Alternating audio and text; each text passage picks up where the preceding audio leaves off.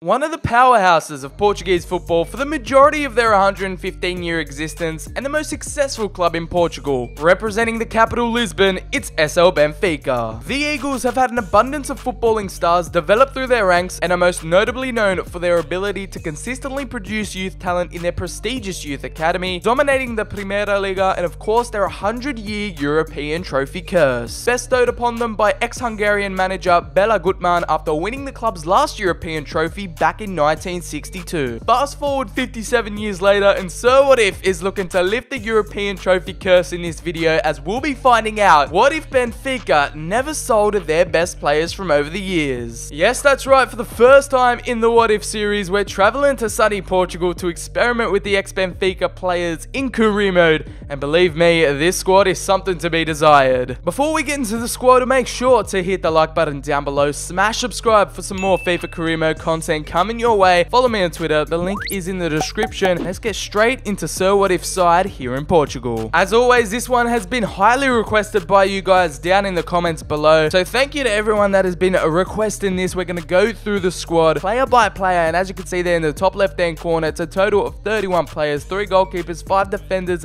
15 midfielders, and 8 attackers. So let's get straight into probably the strongest position in this squad right now. Benfica have had some outstanding goalkeepers in the past and this video is going to showcase exactly what quality they had on their hands here. As you can see Ederson now the starting goalkeeper for Manchester City in the Premier League 24 now. Manchester City did purchase him from Benfica and it was a big loss for the Portuguese Giants as yeah you can see what he went on to achieve with Manchester City Premier League titles and it's another big keeper. It's the Slovenian Jan Oblak. Now of course at Atletico Madrid 25 years of age he's still so young and he's one of the world's best already. Benfica had this man on on their hands, and that is two solid goalkeepers. Like in previous episodes, I'd said goalkeeper position was a position that I was worried about. In this video, it's a complete opposite. Oblak and Ederson in between the sticks. Could you get any better than that? I'm not sure. Benfica, what have you done? As we're going to move on to another pretty solid position, I'm going to say Joao Cancelo did play in the Benfica Academy, did work his way up, and only played a handful of games for them. It wasn't a mainstay here at Benfica, but did stop by in the earlier stages of his career. Had stints at the likes of Valencia, Inter Milan, Juventus, and has now made the big summer transfer move to Manchester City to join up with Ederson. And now we move on to the backup right back. It is Barcelona's own Nelson Semedo, 24 years of age, is a solid backup, and they did purchase him from Benfica. Was one of their main right backs that season, and he made the big European move. Was a really high potential star that season, and really burst onto the scene with the Portuguese Giants. As we continue to move down, the defense gets even stronger here with Ezequiel Garay, the now 31-year-old had his big breakout season in Portugal and was linked to the likes of Manchester United. That never happened. He went on to go play for Zenit, Valencia. Ezequiel Garay, another solid player at the back. But we shift our attention towards a player that did move to Manchester United from Benfica. It's the Iceman. It's the Swede at the back, Victor Lindelof. Now 23 years of age, is set to have a massive season at United this year and did make the straight swap from Benfica to the Premier League. And another player who made a big move from Benfica to the Premier League was in fact David Luiz. The now now 31-year-old Brazilian centre-back has played the majority of his time in the Premier League at Chelsea after he made his big move to Benfica, then moved on to PSG, back at Chelsea, and now, most recently, is at Arsenal. As we move on to the midfield now, no, it is not Fellaini with that massive afro. It is another Belgian in Axel Witsel. The 29-year-old CDM slash centre midfielder did burst onto the scene at Benfica, was linked to so many big European clubs, then went on to play for Zenit, Borussia Dortmund he's currently at now, and is just a solid midfield player in general. To a player, another CDM, it's the Serbian Nemanja Matic. Another player who did go on to play for Chelsea. There's a lot of history between Chelsea and Benfica with all these stars. Ramires was also another honourable mention that didn't make it into this squad because he's no longer in FIFA, but he's another player that moved on from Benfica to Chelsea, as well as Javi Garcia, the ex-Manchester City wonder kid back in the day. He's now 31. I cannot believe that. So it feels like such a long time ago. Eduardo Salvio has been a recent departure from Benfica. He's gone back to his home nation of Argentina, the 27-year-old right midfielder, joining up with Boca Juniors over there in the Argentinian league. Could have had a big European move, but no, he's gone back to his home nation, and fair play to him, respect. As Salvio moves on from Benfica, now we have the Portuguese wonder kid, the boy wonder, the golden boy of 2016. Won the Portuguese league, won the Euros for Portugal, had an outstanding year, a breakout year. Renato Sanches. What has transpired from then on, I do not know. It has been a rapid decline. He moved on to Bayern Munich shortly after his big season at Benfica, had a loan spell at Swansea City in the Premier League, completely flopped, and now he's back at Bayern Munich, 20 years of age, still has time to recover his career. It hasn't been a complete disaster yet, but hopefully he's back at Benfica now, and we could achieve some great things with him alongside another player, Andre Gomes, who's recently moved to Everton, however went to Barcelona, didn't really do too well there, had a stint at Valencia too. He was originally at Benfica, has moved around quite a bit, and now finds himself at a permanent deal in Merseyside with the Blues. As we scroll down to the Italian, Bryan Cristante, the 23-year-old versatile midfielder midfielder, is 78 overall, is now at Roma in the Serie A, but has had stints at Pescara, Atalanta, and obviously Benfica. So we've brought him back into this team. Now is a big one. Gonzalo Guedes. Goncalo Gonzalo Guedes. I'm completely lost with this guy's pronunciation, but Guedes, we're going to call him, has been a big wonderkid for Portugal in the past few years now, has been representing them at national level. Now 83 overall, 21 years of age. He's now at Valencia in La Liga. I'm predicting him to be a big star for this team as we simulate through the seasons. He could lead us to some glory, the number seven. A player on the older side, I would say, the 31-year-old now, Nolito, ex-Man City player, now is out at Sevilla. A big one. Anderson Talisca, the Brazilian, who's now in the Chinese league for some strange reason. He's only 24 years of age. So let's hope the Brazilian can find his feet back here at Benfica. Yet again, at 24, there is still time for redemption as we shift our focus towards, it's another player who, who's had a bit of game time here and there for Benfica. Didn't really break out at Benfica. It was more Monaco, where Bernardo Silva made his case. But the Portuguese midfielder, who's now appeared in these videos back to back, he appeared in the Monaco video, now he's returned home to Benfica. The Portuguese star who recently won the Nations League with Portugal is killing it for Manchester City in the Premier League, a Premier League champion, and the youngster is only 23 years of age. He has that something special, but Nicolas Gaitan is another one of those players who was a long servant at Benfica, now has moved on to the MLS, but hopefully he can provide a lot of experience to the squad, the most recent departure from the Portuguese Giants. One of their youth academy gems that they have sold for a mouth-watering amount of profit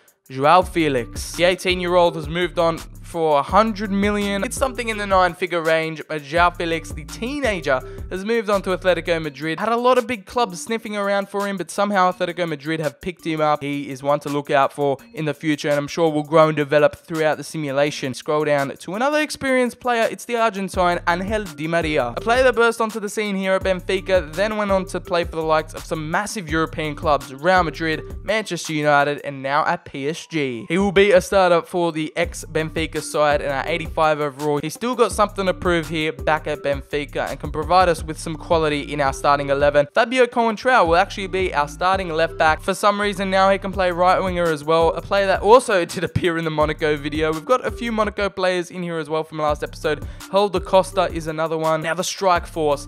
This is where it gets interesting. Rodrigo, the now Spaniard who's at Valencia, at 27 years of age, 83 overall. He's just a solid striker to have in your side with Luka Jovic, the Serbian. Yes, we all know the amazing season he had at Frankfurt has now moved on to Real Madrid for big, big money, but he was on loan from Benfica. Benfica originally owned him, loaned him out to Frankfurt. He just had an amazing season. Imagine if they kept Jovic and Felix in the same team that year. As we move on to the last striker, I believe it is Raul Jimenez now is killing it for Wolves in the Premier League, and that is going to be the last player. Ignore the players out on loan, they do not matter. That is the ex-Benfica side. If they kept all their players, it's just a well-balanced side with a lot of experience, a lot of young talent, and players that can grow throughout the simulation. That is how they'll be lining up. It might change throughout the simulations, but we have Coentrão, Lindelof, David Luiz, and Cancelo as the back four, Witsel and Silva in the midfield. Then we have Talisca in the cam slash center forward position, Di Maria and Guedes on the left and right hand side, and the man leading the line is Rodrigo until Jovic overtakes him in overall and he can be the starter. But for season one,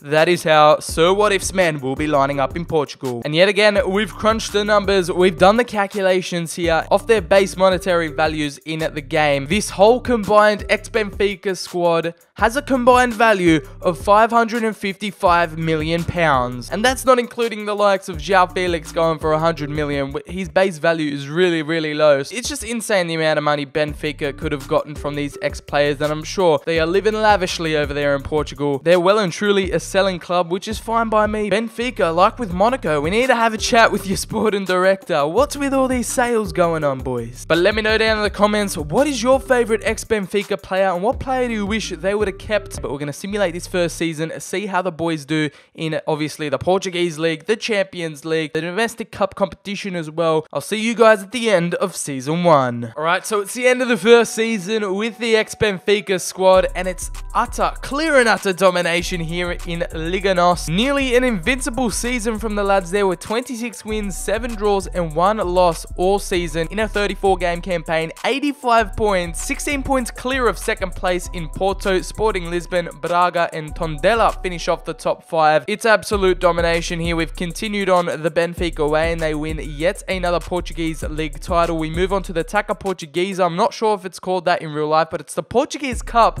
and they somehow managed to dominate the league but not get into the final. They got knocked out on penalties there to Portimonense. I'm going to struggle this video with these Portuguese names, but they lost 4-3 on penalties after it was 2-2 in round 1 Come on, guys. You got to lift up your game in the Portuguese Cup. But now, the Champions League. Let's see how the lads have gotten on. It is Barcelona and City in the final. But they managed to escape their Champions League group there. Sitting in second position just above Ajax and Athens. It actually went down to the wire there. Bayern finishing off on top. We'll see how far they got on. And they beat PSG 2-1 in the round of 16. They beat Real Madrid 3-1 on aggregate. So they made it all the way to the semi-finals and ended up losing to eventual finalist Manchester City 3-0 on aggregate so a very deep cup run in season one. However, it's the Portuguese Cup disappointment that really let us down in the end. We'll take a look and see who the star performers were this season, sorted by goals, and it's the Spaniard up top, Rodrigo, with 23 goals and one assist, our starting striker leading the line as we move down to Anderson Talisca, the Brazilian,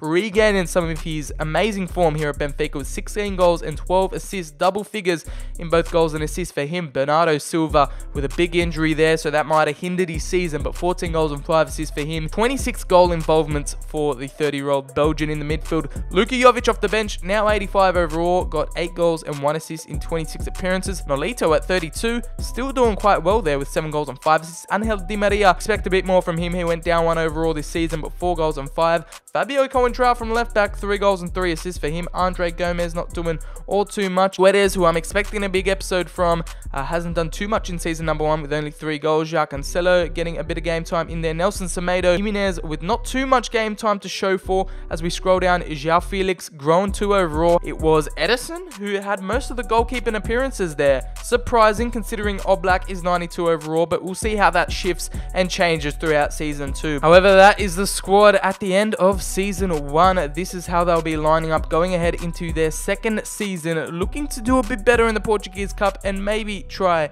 and get a European trophy under their belt. We'll see how Benfica, we'll see how the ex-Benfica boys do in Season 2. Oh, well, well, look what we have here. Two seasons in, and our title defense did not hold up. It did not last as Sporting Lisbon, our bitter, bitter rivals, Benfica's rivals alongside Porto as well. But the other side of town have won the league there with 80 points. We did not dominate unlike last season. We finished in second with 75, still qualifying for the Champions League though in Season season 3. But it's a disappointing season in the league, unfortunately. Nothing to celebrate domestically. We're going to take a look at the Portuguese Cup, but a big downfall from last season. It's going to be Porto and Braga there in the final. And don't tell me it's another round one elimination to Santa Clara. Come on, guys. What is going on in Portugal? We're not having a good season down here. Monaco and PSG in the final for the Champions League. Interesting final there. We finished top of the group. We were in Group F with Spurs, Leverkusen, and Basel. Uh, Spurs edged out to finish in second and qualify, and then we got knocked out of the round of 16. Finishing first, we got matched up against Juve and lost 3-3 on aggregate. Juve win on away goals, and that is our European hopes and dreams crushed right before our eyes. And Monaco and PSG, it's a French final actually, so it looks like the lads had had a case of second season syndrome. We might have to change up the formation and things for season three, the final season, but we'll take a look and see who our main performers were. And I said he's going to be a big star for us in this career mode. The ex-Benfica boy, the wonder boy, Gonzalo Guedes, now 23 years of age, starting out on the left wing for us, 19 goals and 10 assists, double figures in both, a total of 29 goal contributions, as well as Bernardo Silva, 29 goal contributions for him, double figures in both goals and assists, 17 goals and 12 assists, an outstanding season for him. He's starting to come into fruition here. Rodrigo not having quite the season he did in season one, although it's still some decent numbers from him. Talisca, yeah, you'd expect a bit more from him, as well as Luka Jovic now at an 86 overall. Ronaldo Sanches doing decently in there with 5 goals and 2 assists, as well as Bryan Cristante now with 5 goals and 6. Axel Witsel not really having the season he had in season number 1. He did really well there. Angel Di Maria as well,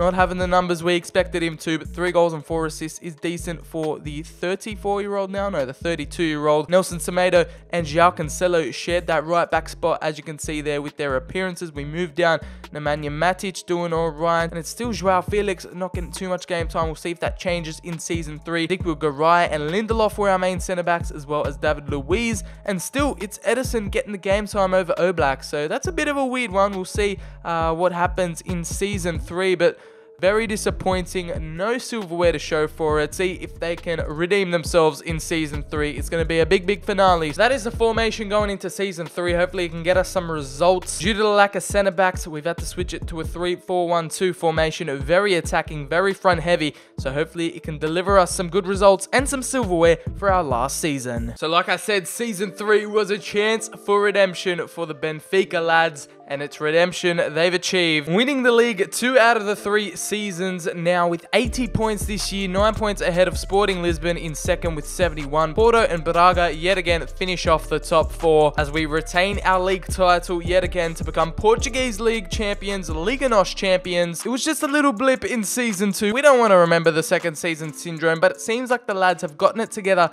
in season three and we've delivered the league success. We'll take a look at the League Cup and we've gotten ourselves into to the Taça Portuguesa final, the Portuguese Cup final, we'll just call it, against Benfica's bitter rivals, Sporting Lisbon. So that is going to be a very interesting match. We'll go ahead and simulate that, but we'll take a look at the Champions League to see what has gone down there. And it's an all-Italian final. That is very interesting. Napoli taking on AC Milan. I don't think we were in the Champions League, so we'll take a look at the Europa League and see what that has in store for us. Hopefully, we can do a bits in here, and it looks like we have a European final, a chance to lift the curse in season three. This has, you can't write scripts like this. This is written in the stars. We are matched up against the Italian side, Lazio. It's an all-Italian Champions League final, and we're up against the Laziali in season three for that Europa League trophy. The last European final for Benfica was in fact against Chelsea all those years ago in 2012, I believe, but we finished top of the group, six wins,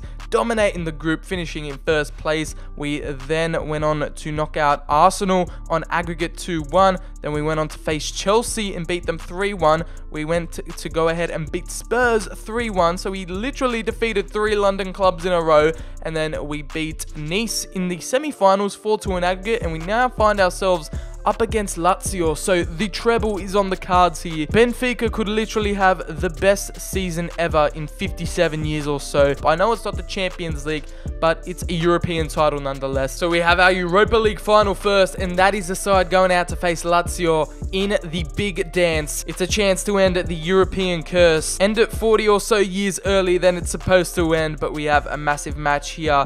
This could be a historic moment for Benfica in all their history as we go in and face Lazio. I'm nervous for this one. We're, we're going to watch this one play out because it's going to be suspenseful. Trust me. We've got Felix and Jovic up top. Talisca, Guedes, Gomes. Oh, this side is absolutely brilliant. It's just the defense that worries me here. First half, not too much happening. Uh, but yet again, Felix coming in with the goal in the 50th minute. Gets in. He's one of our own. Benfica's own Youth Academy product. Haller gets a red card, is sent off. Surely that is it. We skip to the end, and it's a 1-0 clutch victory from the lads. It was written in the stars for the Portuguese wonder kid to score in the final. Started up top. A baptism of fire for him, and he's won Benfica the Europa League. Their first European title in what? We're three seasons in now, so 60 years, and we've lifted the European trophy curse 40 years early, and Benfica become Europa League champions. I seriously do not know how we can top that victory in the Portuguese Cup final, but it's a silverware we haven't won yet in this experiment with the ex-Benfica squad. They've probably partied too hard after that European win, after the trophy curse was lifted, but there's still a job left to do in the Portuguese Cup against bitter, bitter rivals, so it's a big derby here in Lisbon. Hopefully they're still not hungover from the Europa League final. Jovic gets us off a perfect start in the fourth minute there. The Serbian, straight out of the blocks, not wasting any time. He is uh, energetic after that Europa League win. We might go ahead and achieve the treble here. João Felix, two goals, uh, two games, two goals. Viviano goes off injured but Felix proving yet again, whilst Benfica shouldn't have sold him, it's another one of their youth academy products. Nelson Semedo there, the right back getting in amongst the action, and it's an easy 3-0 win there, lads. I, I, was worried about this game considering it's technically away from home, but they've pulled through there with the win, a comfortable 3-0 win, and Benfica have gone on to win the treble. And there we go. What a sight to behold. It is Jan Oblak, our highest rated player in the squad at 93 overall. He is sitting in the press conference with that beautiful Portuguese cup. Finally, after three seasons, the lads have got their hands on it. I mean, it's taken three seasons, but it's the most successful season yet. Treble winners for Sir What If and Benfica. We'll take a look at the stars of this treble winning team, European curse lifting team, and wow, I said I said season three was going to be a big one for Mr. João Felix, and it's 40 goals and 11 assists for the 21-year-old. Mind-blowing numbers there. We have Gonzalo Guedes with 18 goals, 11 assists, Talisca with 15 goals and 9, Bernardo Silva 14 goals and 26 assists. Mind-boggling numbers there, mouth-watering numbers. Luka Jovic with a big uh, Portuguese Cup final goal, getting 13 goals and 1 assist. Bryan Cristante with 11 goals and 4 assists for him. Renato Sanches doing quite well in there as we scroll down. Semedo got that Portuguese Cup goal as well. And then Victor Lindelof, I do believe, picked up a big injury throughout the season. So it hindered his game time a bit. We have João Cancelo obviously getting a bit of game time as well. As we scroll down, it was Oblak getting most of the game time in between the sticks this season. Ederson took a bit of a back seat, but still played a major part in the squad. David Luiz now uh, has gone down a lot of overalls there, but he's still got 54 games. Roll down a Di Maria, not really having too much involvement this season. And Cohen Coentrao, yet another club veteran, getting 10 games in there, but what a season it was. That has probably been one of the most successful seasons in this What If series, the treble in season 3, especially for Benfica considering their European trophy curse. So it just added to the storyline there. The stars aligned and the Portuguese Giants finally got their hands on some European glory with their ex-players. The ex-boys coming back to Benfica, delivering success which was expected, but it took three seasons, it took a while, and the lads finally delivered. So I hope you guys did enjoy enjoy this one. It has been an absolute blast recording this. Benfica's X squad is absolutely amazing and they were able to do the impossible, the treble, one of the most successful seasons in Benfica history. So I hope you guys did enjoy the video. If you did, make sure to drop a like down below. Make sure to comment on who your favorite player was, what team we should do next, and if there was anyone I did miss out on, follow me on Twitter. The link is in the description. Turn on the notification bell, hit the subscribe button for more FIFA content, FIFA 20 career mode content coming your way, guys. It is going to be a massive year for the channel. It's going to be absolutely amazing. I'm loving all the support you guys are showing on the videos. I do appreciate it. But thank you guys so much for watching. Thank you for making it all the way to the end. I've been BCHD, and I'll see you on the very next video.